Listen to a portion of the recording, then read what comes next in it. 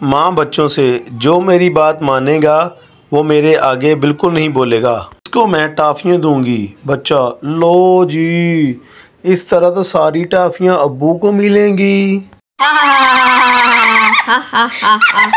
सत्तर साल का बाबा अपनी बीवी से मैं तुम्हारे लिए चांद तारे तोड़ लाऊं बीवी ਆਰਾਮ ਨਾਲ ਬੈਠ ਜਾ ਦੰਦਾਂ ਨਾਲ ਰੋਟੀ ਤੋੜੀ ਨਹੀਂ ਜਾਂਦੀ ਵੱਡਾ ਆਇਆ ਤੂੰ ਤਾਰੇ ਤੋੜਨ वाला